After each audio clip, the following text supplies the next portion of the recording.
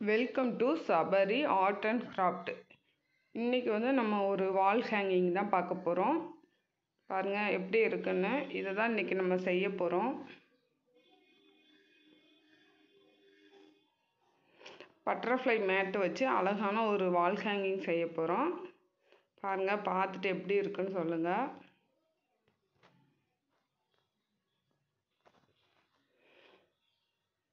இதுக்கு வந்து ஒரு ஏழு மேட்டு தேவைப்படும். இல்லை ஆறு மேட்டு நம்ம வந்து எப்படி அரேஞ்ச் பண்ணோமோ அந்த மாதிரி அரேஞ்ச் பண்ணிக்கலாம். எத்தனை மேட்டு வேணாலும் நம்ம எடுத்து சூஸ் பண்ணிக்கலாம்.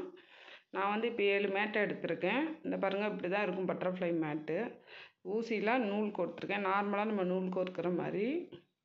அதில் ஒரு முடிச்சு போட்டுக்கலாம்.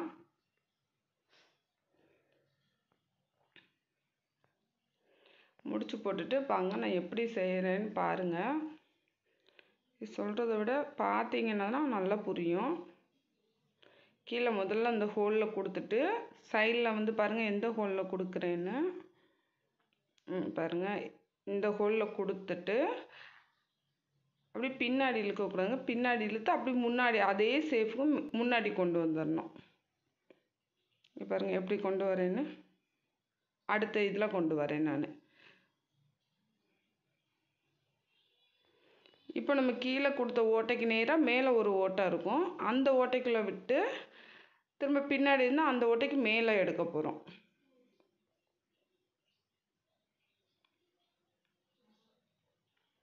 பாருங்கள் நல்லா தெரியும்னு நினைக்கிறேன்.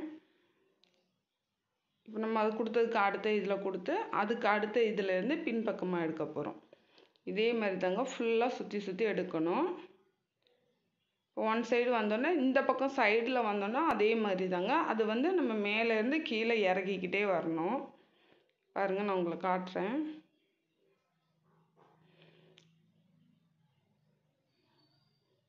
இங்கே பாருங்கள் பின்னாடி விட்டு இந்த மாதிரி. ஒரு ஒரு இதுக்குள்ளே விட்டு இன்னொரு ஹோல்குள்ளே எடுக்கிறோம். கீழே ஒரு ஒரு ஹோலாக மேலே ஏற்றிக்கிட்டே போகிறோம் ஒரு ஹோலில் விட்டு இன்னொரு ஹோலில் மேலே எடுக்கணும். இப்படி போகும்போது மேலே ஒரு ஹோல் வரும்போது நடு சென்டர் வந்துடும் திரும்ப நடு சென்டருக்கு அப்புறமா ஒவ்வொரு ஹோலாக போடும்போது கீழே ஹோல் ஒன்று ஒன்றா கீழே இறங்கிக்கிட்டே வரணும்.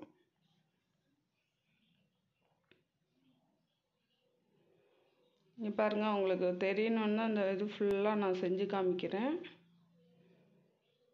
உங்களுக்கு நல்லா தெரியும்னு நினைக்கிறேன்.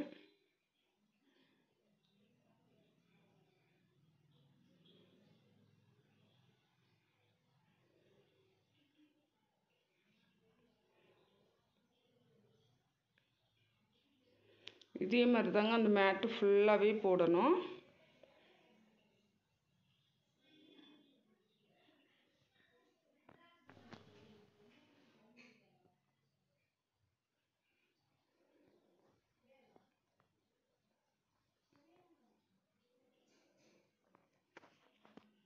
இங்கே பாருங்கள் பாதி வந்துருச்சு. இங்கே பாருங்கள் இப்போ வந்து மேலேருந்து கீழே இறக்குறோம். தெரியுதா? பாருங்க. பாருங்கள் கீழே இறக்கி இறக்கி போடுறோம்.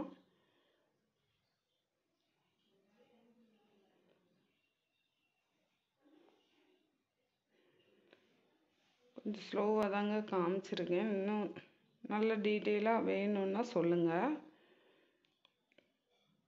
இதை பாருங்கள் ஃபுல்லாக முடிஞ்சிருச்சு. இந்த பின்னாடி பார்த்தீங்கன்னா இப்படி தான் இருக்கும். முன்னாடி பாருங்கள் இப்போ வந்து நூல் வந்து கம்மியாக தான் எடுத்திருந்தேன். அதனால் சேர்த்து நம்ம நூல் ஜாயின் பண்ணிக்கலாம். நீங்கள் அதுலேயே முடிச்சு போட்டு எடுத்துக்கிட்டிங்கன்னா நல்லா டைட்டாக இருக்கும். அந்த மேட்லேருந்து வெளியே வராமல் நூல் நல்லா சிக்கன் இருக்கும். இந்த மாதிரி முடிச்சு போட்டுக்கோங்க.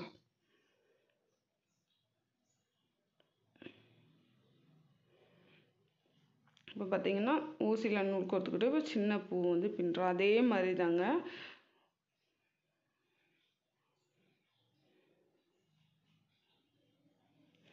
கொஞ்சம் ஸ்லோவாக காமிச்சோன்னா ரொம்ப டைம் ஆகுங்க. அதனால தான் கொஞ்சம் ஸ்பீடாக காமிச்சிருக்கேன். வேறு ஒன்றும் இல்லை.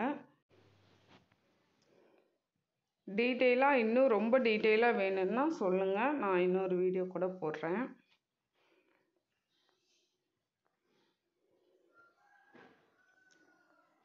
நான் போடுற கிராஃப்டெல்லாம் எப்படி இருக்குன்னு சொல்லுங்கள் கமெண்ட் பண்ணுங்கள் மேக்ஸிமம் நான் முடிஞ்ச வரைக்கும் வேஸ்ட்டு திங்ஸை வச்சே நான் வந்து கிராஃப்ட் போட ட்ரை பண்ணுறேங்க இந்த மேட்டு பார்த்தீங்கன்னா விலை ரொம்ப கம்மி தான். ஒரு மேட்டோட விலை மூணு ரூபா தான். ஒரு ரெண்டு உள்ளன் இருந்தாலே போதும். நம்ம வந்து இந்த இதோட டெக்கரேஷனை முடி பாருங்கள் நம்ம வந்து இப்போ போட்டுகிட்டு இருந்த மேட்டு ஃபினிஷ் ஆக போகுது. இங்கே பாருங்கள் பின்னி முடிச்சிட்டோம்.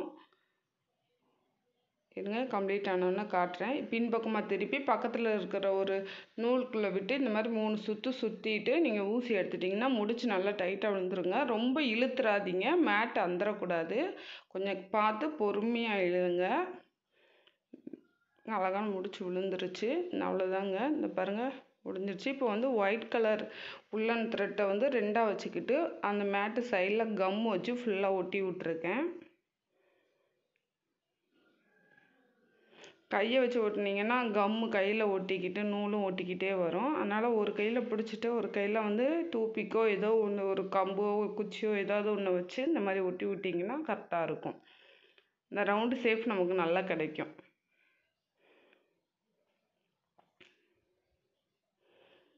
இங்கே பாருங்கள் ஃபுல்லாக ஒட்டி முடிச்சாச்சு.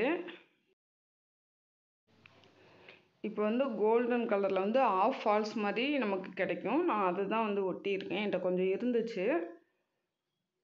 பாருங்க நாலு பக்கமும் இதை ஒட்டிக்கிட்டேன். மீதி இருக்கிற நாலு சைடுக்கும் பார்த்தீங்கன்னா ஒயிட் கலரில் ஒயிட் கலர் பால்ஸ் குட்டி குட்டியாக இருக்கும்ல அந்த பால்ஸ் வந்து சின்ன பூக்கெல்லாம் ஒட்டிக்கிட்டேன். பாருங்கள் ஒட்டி காமிக்கிறேன் நான்.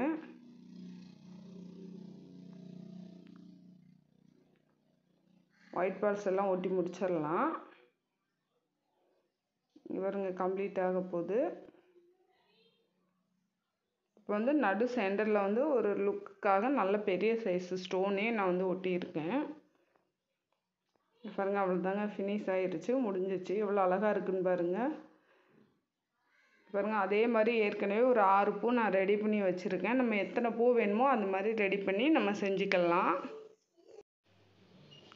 இந்த பாருங்கள் இந்த ஏழு பூவை நம்ம எப்படிலாம் அரேஞ்ச் பண்ணணுமோ அந்த மாதிரி நம்ம அரேஞ்ச் பண்ணிக்கலாம். நமக்கு எப்படி தோணுதோ அந்த மாதிரி தான். நான் ரெண்டு விதமாக அரேஞ்ச் பண்ணி பார்த்தேன். பார்த்திங்கன்னா இது மணி மணியில் வந்து நூலை கோர்த்துட்டு அந்த ரெண்டு சைடையும் ஒன்று போல் எடுத்துட்டு அதில் நமக்கு என்னென்ன எந்த மாதிரி மணி கோர்க்கணுமோ எந்த மாதிரி இதெல்லாம் வந்து நம்மளோட ஐடியா தான். நான் வந்து என்கிட்ட பிங்க் கலர் ஸ்டோன் இருந்துச்சு.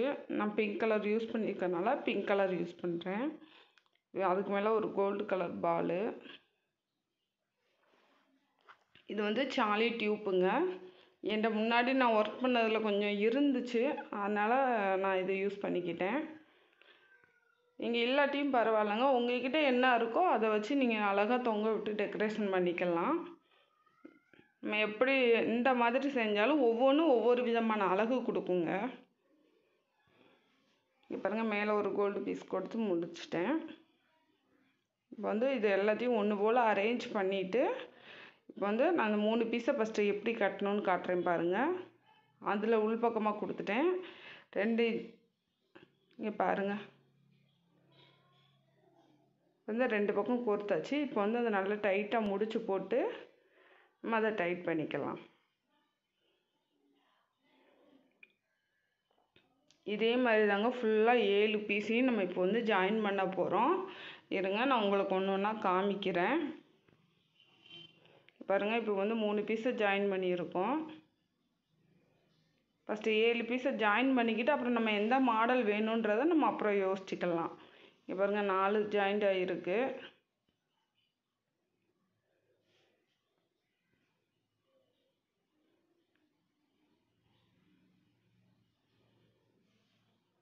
இப்போ வந்து இந்த பீஸை ஜாயின் பண்ண போகிறோம்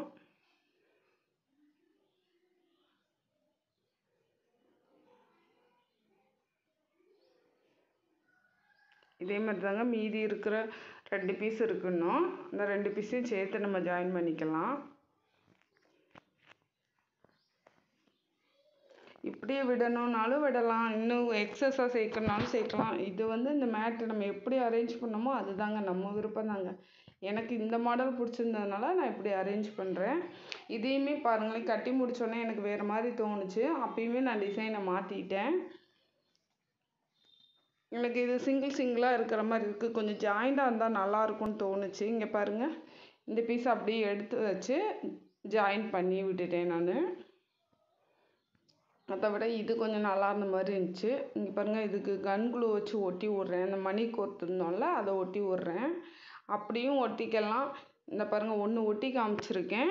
மீதி எல்லாமே அதில் இருக்க நூலை வச்சு இது நமக்கு மேட்டு ஓட்டை இருக்கிறதுனால நம்ம வந்து அது கட்டிக்கலாம். ரெண்டில் எது நமக்கு வி தோணுதோ அதை நம்ம செஞ்சுக்கலாம். எனக்கு வந்து நூல் கட்டுறது கொஞ்சம் இன்னும் நல்லா இருக்கும்னு தோணுச்சு.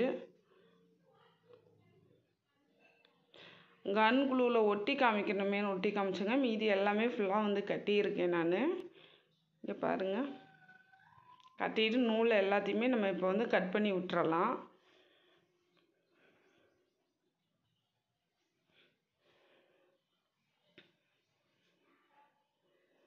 இங்கே பாருங்கள் ஃபுல்லாத்துலேயும் நம்ம அதை செஞ்சு முடித்தோன்னா அதோட ஃபினிஷிங் ரொம்ப நல்லா இருந்துச்சு. கலர் காம்பினேஷன் எப்படி இருக்குன்னு சொல்லுங்கள்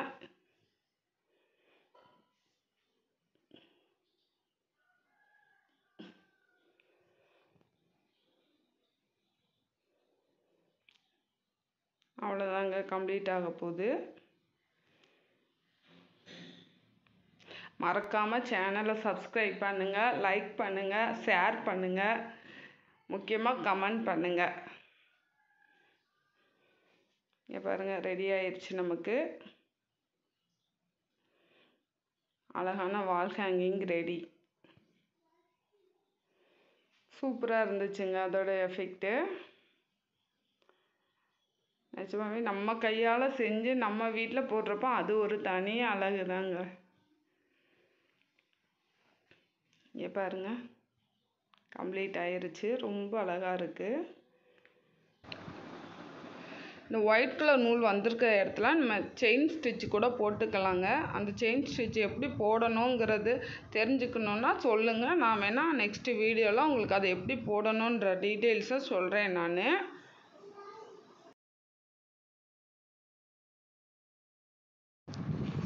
தேங்க்யூ